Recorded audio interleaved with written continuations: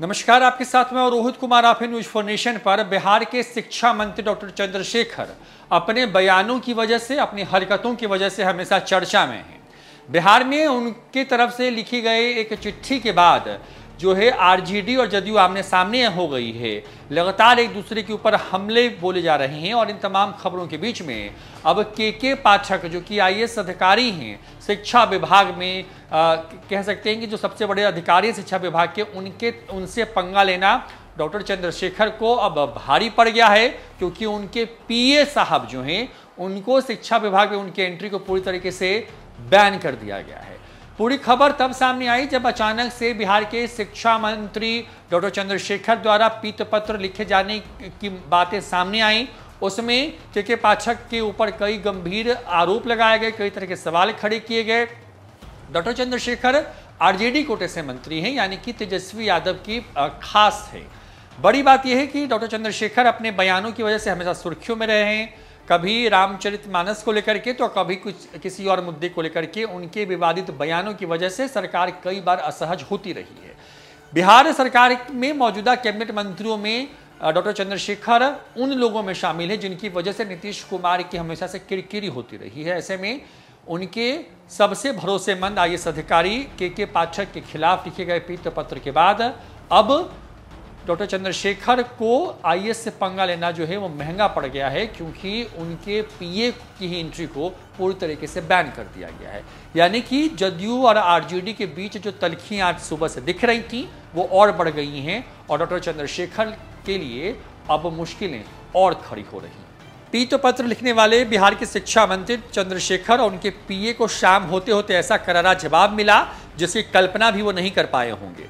मंत्री के पीए को शिक्षा विभाग में प्रवेश करने पर रोक लगा दी गई है। साथ ही अपरोक्ष तौर पर शिक्षा मंत्री को भी हैसियत दिखा दी गई है। विभाग के अपर मुख्य सचिव के के पाठक के आदेश पर निदेशक प्रशासन की तरफ़ से ये आदेश जारी किया गया है। शिक्षा मंत्री चंद्रशेखर के आदेश पर विभाग के अपर मुख्य सचिव के के पाठक को पीत पत्र लिखने वाले मंत्री के आप्त सचिव डॉक्टर कृष्णानंद यादव को करारा जवाब मिल गया है। सिर्फ़ जवाब ही नहीं मिला है, बल्कि विभाग में घुसने पर भी रोक लगा दी गई है। निदेशक प्रशासन सुबोध कुमार चौधरी की तरफ़ से मंत्री के आप्त सचिव को पत्र भेजा गया है। पीत पत्र के बदले में भेजी गई चिट्ठी को हम हुबहू लिख रहे हैं। के के पाठक की तरफ़ से निदेशक प्रशासन ने जो जवाब दिया है, उसमें ये लिखा गया है। निदेशानुसार, पिछले एक सप्ताह में आपके द्वारा भांति भांति के पीत पत्रों द्वारा विभागों और विभागीय पदाधिकारियों को भेजे गए।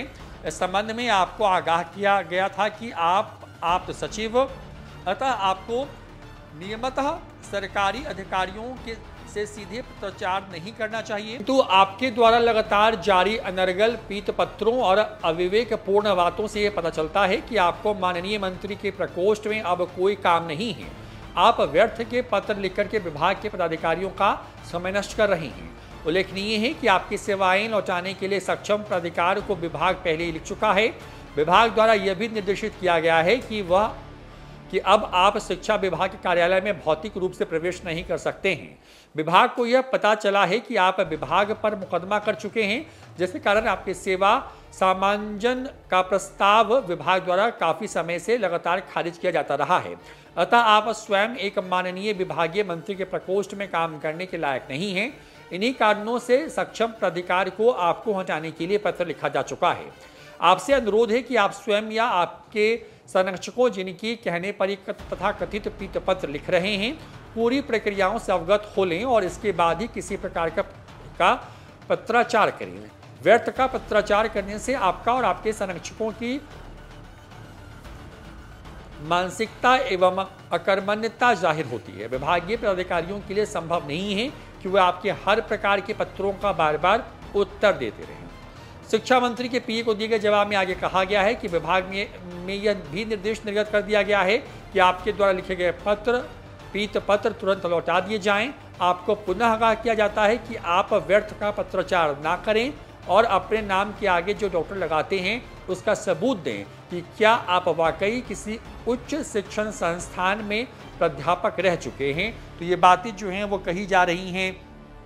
के के पाठक ने एक तरीके से कह जो है, जवाब भिजवा दिया है बिहार के शिक्षा मंत्री को। शिक्षा मंत्री जो हैं, अपने करीबी और खास जो उनके निजी सचिव हैं, उनके सहारे पीठ पत्र लिख करके विभाग के अलग अलग अधिकारियों से सवाल जवाब पूछ रहे थे और इसी पत्र के सामने आने के बाद से बिहार का सियासी पारा चढ़ा हुआ है।